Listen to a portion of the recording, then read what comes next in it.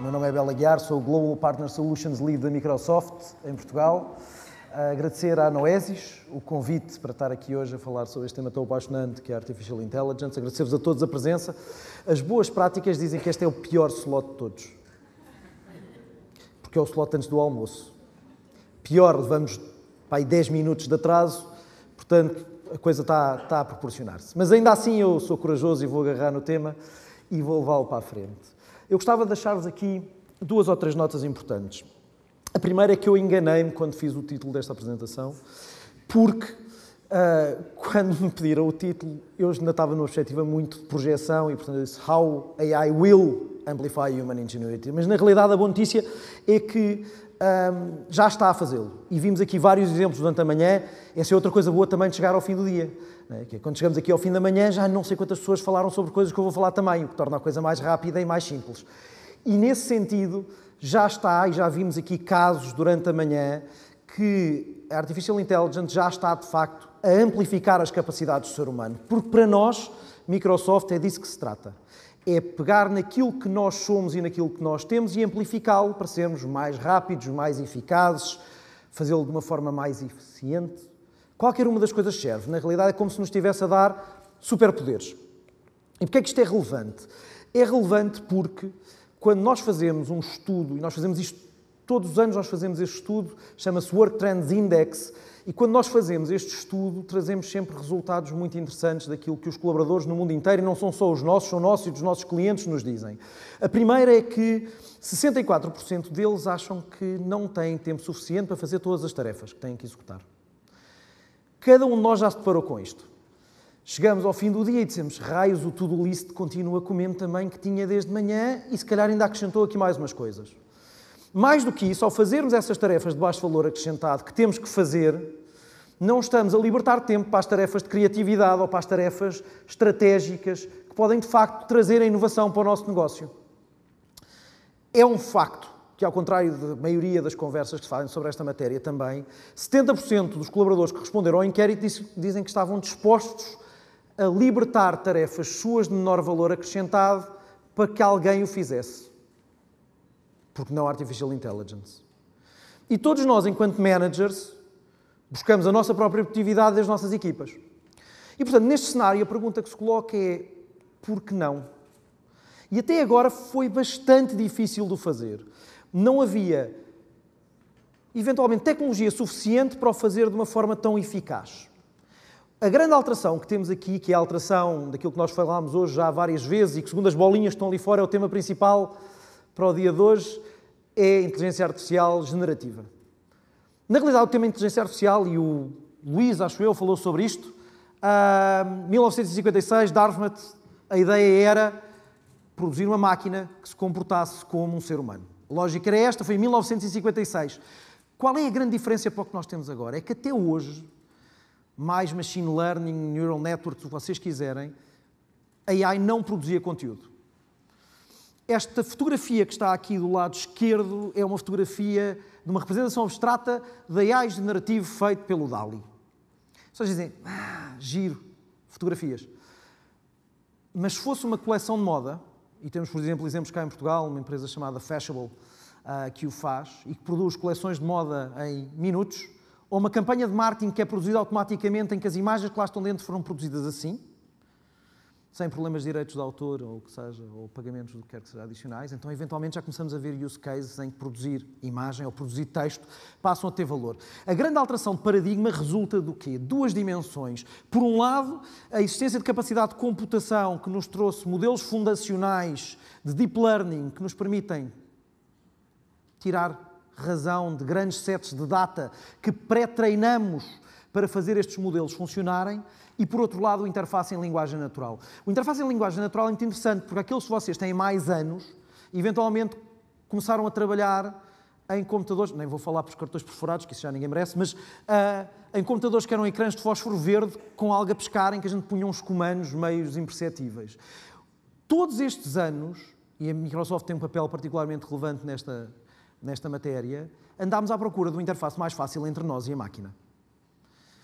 No final, depois desta evolução toda, o grande interface é o nosso próprio. é a linguagem natural. Os LLMs são vários, não interessa bater aqui no tema, mas o que é facto é que o que nós estamos à procura é de uma maneira de conseguirmos interagir com a máquina como se estivéssemos a interagir com outro ser humano. O que seria espetacular não fosse o facto de muitos de nós termos problemas de expressão. Mas isto é um tema que depois se torna muito interessante quando vocês começam a trabalhar os prompts uh, uh, e começam a interagir com a máquina e começam a tentar explicar à máquina aquilo que vocês de facto querem. Que é mais ou menos o equivalente a quando alguns de nós falamos entre nós e tentamos fazer coisas no nosso negócio acontecer e chegamos à conclusão que não percebemos todos o mesmo. Mas seja como for, nós vemos três dimensões aqui mais relevantes.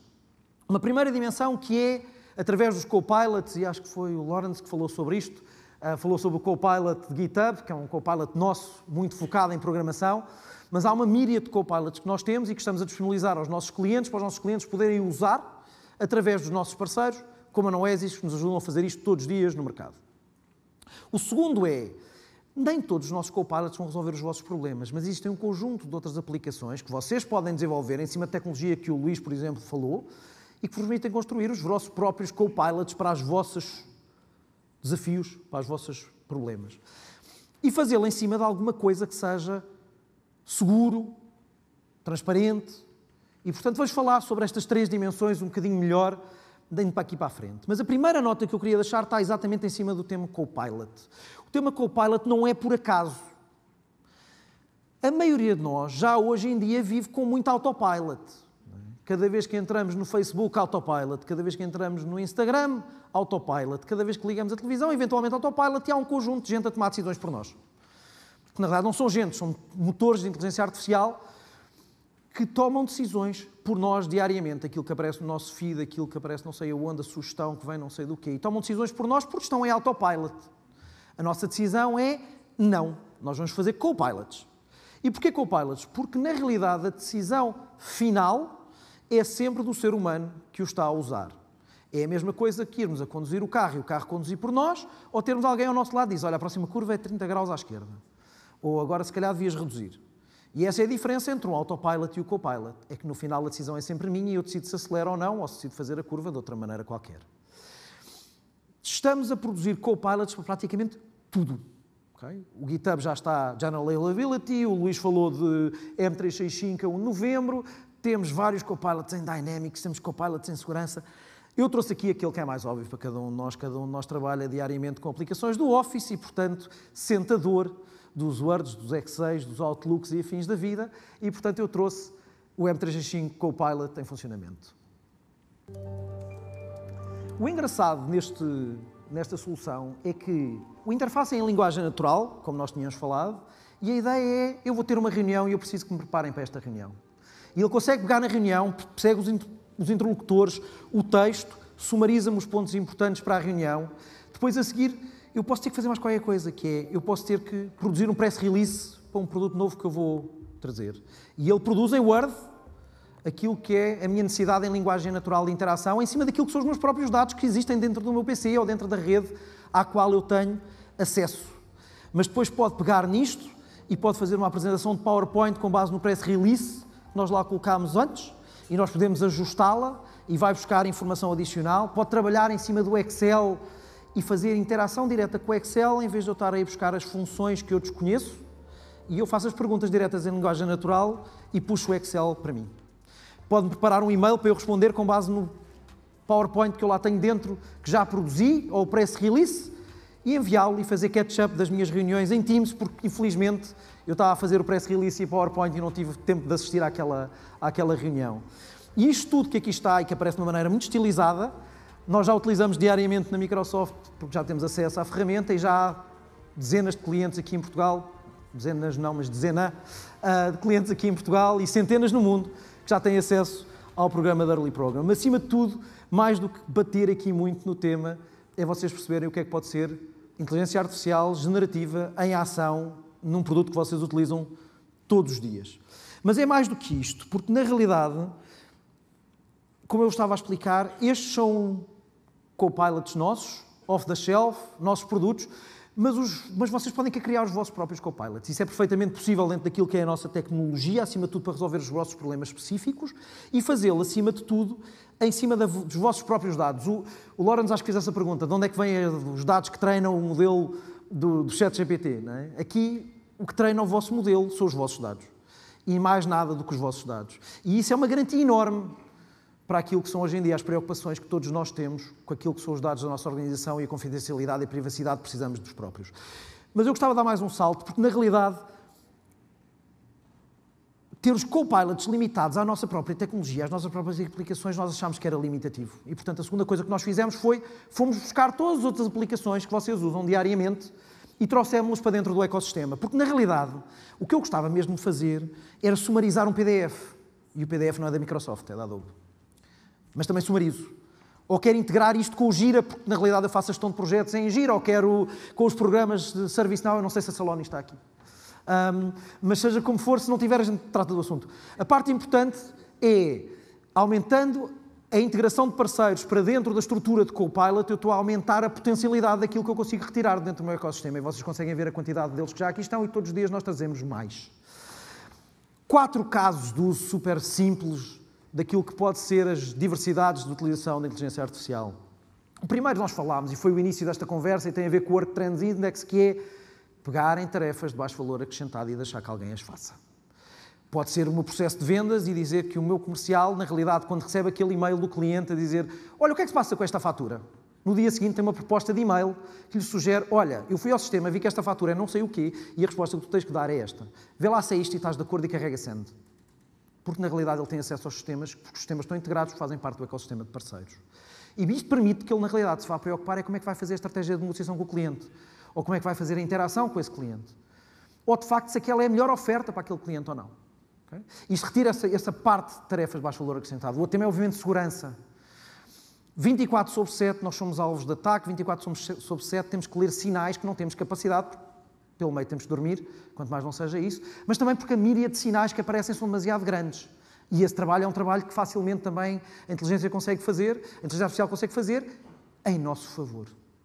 O terceiro é um tema mais de criatividade e tarefas de baixo valor acrescentado também, e, portanto, tem semelhanças não tanto processuais, mas mais do nosso trabalho enquanto seres humanos individuais. E a última é o caso do GitHub Copilot, com toda a aceleração. Temos números efetivos que dizem que há poupanças de mais de 50% no tempo que demora a fazer development utilizando o GitHub Copilot para além, obviamente, de me permitir, não sabendo todas as tecnologias de programação, ele faz a tradução direta por mim das várias, das, várias linguagens de programação. Mas são alguns exemplos. Mas há um tema que foi, se calhar, tocado aqui uh, já hoje, mas que, mas que para nós é particularmente relevante, e fizeram-me uma pergunta sobre isso há um bocado uh, para uma entrevista antes de eu entrar aqui, que é até que ponto é que estas ferramentas que nós estamos aqui a trabalhar são, de facto, utilizadas para o bem. E para quem gosta de Marvel, esta frase é do Uncle Ben e não do, super, do, do Homem-Aranha, como muita gente diz. É o tio dele que lhe diz. Um, na realidade, dizem que a origem disto é da Bíblia, mas não é relevante agora para o tema. O tema relevante é, a partir do momento em que temos um instrumento tão poderoso como a inteligência artificial, é nossa responsabilidade, nossa Microsoft, nossa Noesis, que trabalha esta tecnologia diariamente nos clientes, e de todos os clientes, garantir que a utilizamos de uma forma responsável.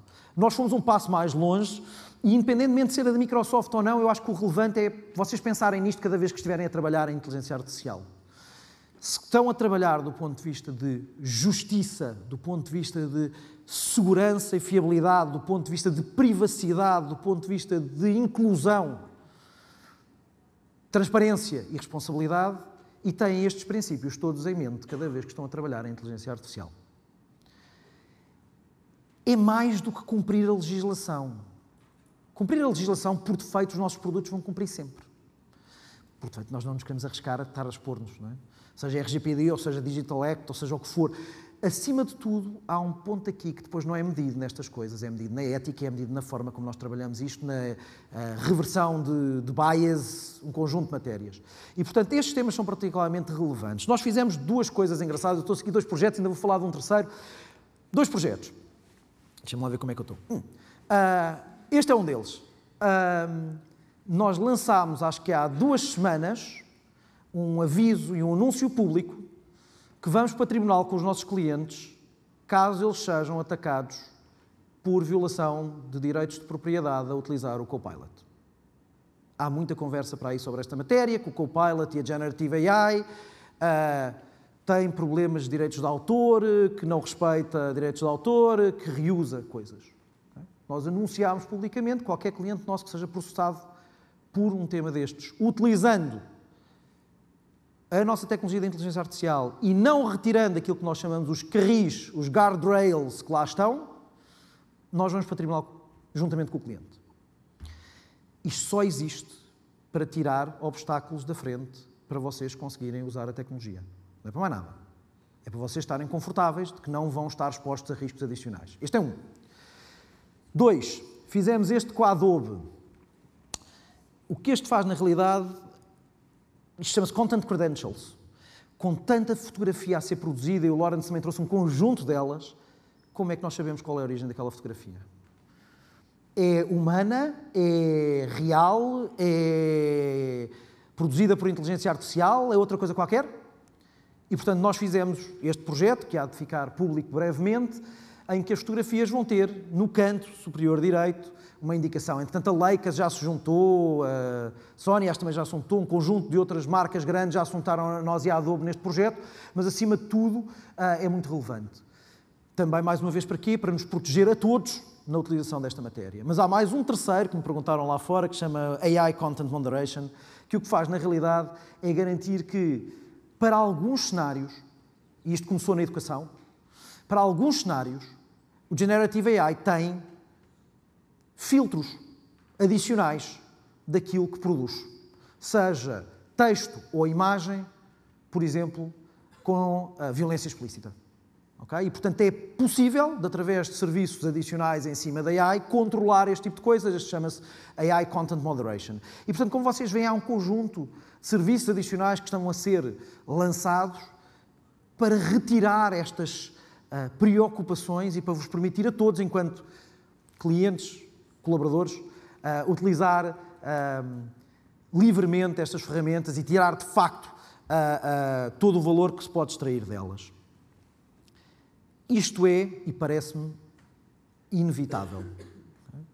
Uh, o nosso CEO disse esta frase numa entrevista agora há muito pouco tempo. Uh, todos os clientes que falam com eles não lhe perguntam como é que vão utilizar. A discussão é, para além do como, é quão rápido. Acreditamos firmemente que a inteligência artificial pode trazer a próxima diferenciação, a próxima vantagem competitiva das vossas organizações versus as outras no mercado uma perspectiva muito portuguesa da nossa economia portuguesa versus as outras economias no mercado. E, portanto, quanto mais rápido trabalharmos em conjunto, maior será a nossa capacidade de suster isso. Aliás, vimos durante o Covid que as empresas estavam mais digitalizadas, foram aquelas que mais facilmente ultrapassaram aquilo que foi o impacto e a disrupção causada pelo Covid. Acredito firmemente que aquilo que nós estamos a viver neste momento, e falávamos das taxas de juros, da inflação e afins, empresas mais competentes a trabalhar disrupções de cadeias logísticas, a antecipar alterações de procura, a procurar melhores soluções do ponto de vista de sourcing, são aquelas que vão estar mais bem equipadas para ultrapassar esta fase de crise e sair vencedoras e mais competentes e mais competitivas no final deste processo. 87% dos gestores acreditam que isto é assim. Acreditam que vai trazer o tal competitive edge que nós precisamos. Isto vai acontecer em todas as indústrias. Eu tenho aqui quatro de exemplo, um, que pode ser uh, saúde. Eu vou-me chegar para aqui para facilitar a fotografia daquele lado. Um, pode ser saúde, do ponto de vista de facilidade de contacto do paciente. Pode ser a gravação da conversa com o médico, e nós aí temos a nuance que comprámos há uns anos, que está a trabalhar também espetacularmente. Uh, pode ser otimização de cadeias logísticas de medicamentos ou de pacientes dentro de um hospital. Pode ser exemplos de banca, já vimos aqui vários também hoje, ou de retalho, ou de manufacturing, com tudo à volta de digital twins, chão de fábrica e cadeias logísticas. Em todos os setores de atividade, na vasta maioria das funções, há um potencial aqui. Estamos a fazê-lo no mundo inteiro, com clientes do mundo inteiro, mas estamos a fazê-lo também aqui, Deixem lá ver se isto salta ao primeiro. Um, dois. Estamos a fazê-lo também aqui. Estes são só três exemplos. Uh, na AMA, eu não sei se o Luís falou, falou pelo menos do, do IRN, mas o da AMA tem a ver com a trazer proximidade, lá está, em linguagem natural entre aquilo que são os serviços do Estado e aquilo que somos nós enquanto cidadãos.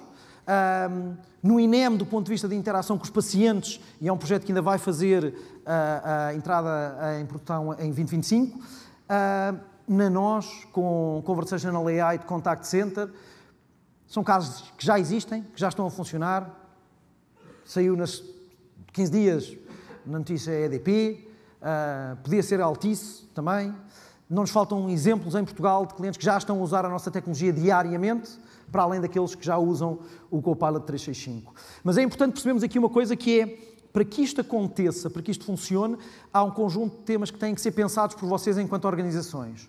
Primeiro, e já não qual dos painéis falou sobre isto, uh, ou foi o Luís, uh, para quê?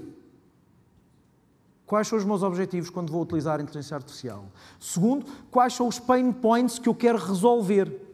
Porque na realidade eu tenho que saber para que é que eu estou a caminhar para garantir que não vou chegar a um outro sítio qualquer diferente.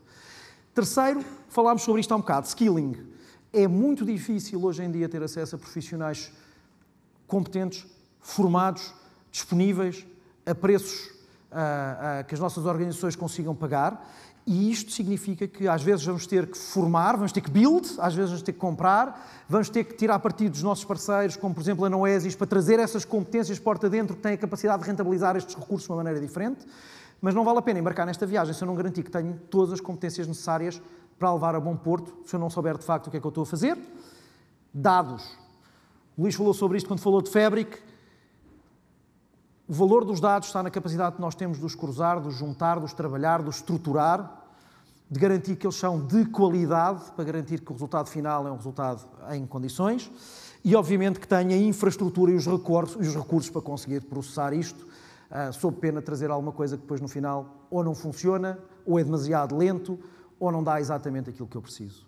Queria acabar com só uma nota mais positiva, como vocês viram, eu estou aqui num espírito muito de economia portuguesa todos os saltos tecnológicos trouxeram saltos de crescimento de produto interno bruto.